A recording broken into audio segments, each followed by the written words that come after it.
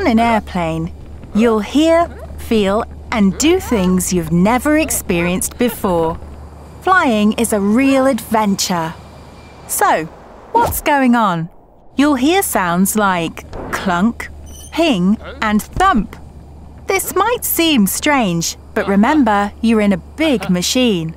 Things are constantly moving, like the cargo hold door or the landing gear.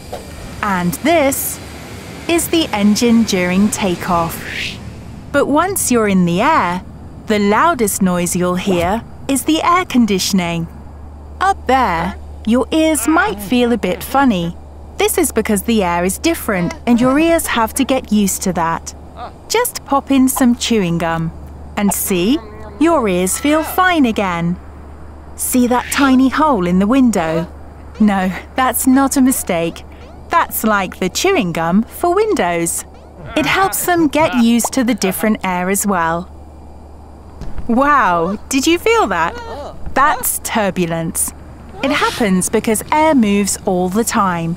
The air is like a sea, and the plane is like a boat. But instead of riding waves, it rides winds. Planes can handle the biggest bumps, so you've got nothing to worry about. Just buckle up and enjoy the ride.